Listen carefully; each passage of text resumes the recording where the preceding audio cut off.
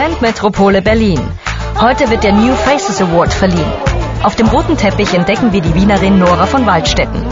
Ob sie eine Chance hat beim wichtigsten Preis für deutschsprachige Schauspieltalente? Es wimmelt von Promis, denn der rote Panther, der von der Zeitschrift Die Bunte verliehen wird, gilt als das Sprungbrett ins Showgeschäft. Damenwelt denn alles richtig? Wir haben Styling-Experten Armin Mosbach nach dem perfekten Outfit gefragt. Klingt einfach, ist es aber nicht, weiß verliebt in Berlin-Star Felicitas Woll. Der Preis für die Filmwelt ist, weiß Produzentenlegende Arthur Brauner. Aber hat auch Newcomerin Nora von Waldstetten heute Abend Glück? Pulsschlag 200, als Achim Rode die Sieger verkündet. Die 20-jährige Wienerin bekommt für ihre Darstellung in einem Tatort-Krimi als eiskalte Internatsschülerin den Roten Panther.